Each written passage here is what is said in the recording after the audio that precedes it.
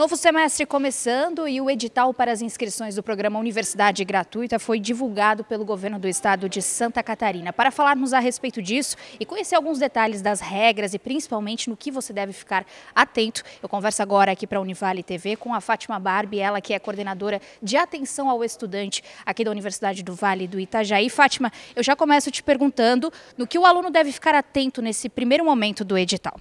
Olá, então, nesse momento é importante né, se atentar principalmente ao prazo que hoje o sistema informatizado do governo do estado abriu para a etapa de renovação das bolsas do programa Universidade Gratuita.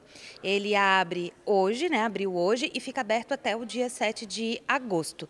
Depois, ele reabre por mais dois dias, no dia 15 e 16 de agosto, para aqueles alunos que não conseguiram né, é, realizar a etapa de atualização do cadastro, postar os documentos necessários necessários, né, tenham tempo para fazer. Então, a recomendação é que faça todo o movimento né, de, de renovação da Bolsa dentro do prazo estipulado, porque não há abertura de exceção a esse cronograma já estipulado. Né? Se atente também à questão de documentação. É, nesse semestre, pela primeira vez, nós teremos dois tipos de renovação de Bolsa. Nós temos a renovação parcial, que ela é exclusiva para os alunos que foram contemplados com a Bolsa no primeiro semestre de 2024.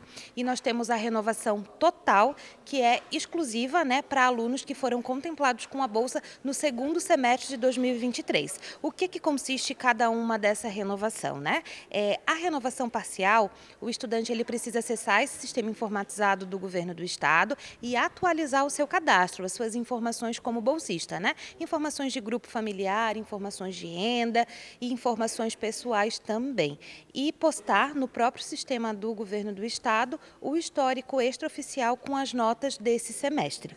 É, já o aluno que foi contemplado no segundo semestre de 2023, que já tem a bolsa pelo período de 12 meses, 12 meses, a legislação exige né, que esse estudante ele comprove novamente todos aqueles critérios, né, aquelas informações de renda para verificar se o índice de carência ele ainda atende os critérios do programa. Então esse aluno, além de atualizar o cadastro, de postar o histórico com as notas, ele precisa acessar o sistema da, da Univale, né, o portal do aluno, e postar a documentação para que se comprove né, que ele ainda se enquadra nos critérios do programa.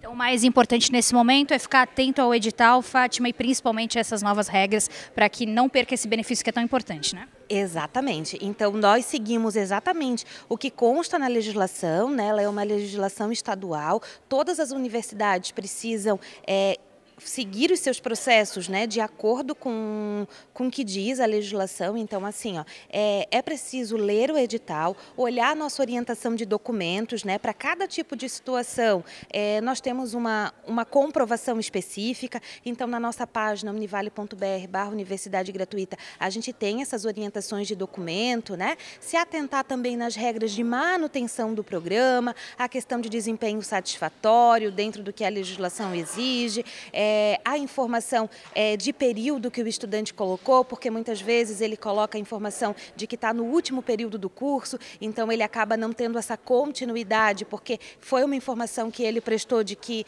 o, o curso dele finalizaria agora, né? Então, eu acho que nesse momento o que a gente precisa pedir para esse estudante que já tem a bolsa, né, é que busque a informação necessária para quando for fazer essa atualização de cadastro e essa postagem de documentos, faça tudo da forma correta, né, dentro do prazo, para que não tenha prejuízo. Com certeza. Muito obrigada, Fátima, pelas informações. E ressaltando para você que nos acompanha pela Univale TV, o site univale.br barra Universidade Gratuita, onde você pode conferir todas essas informações de forma detalhada desse que é aí considerado o maior programa estadual de formação superior do Brasil.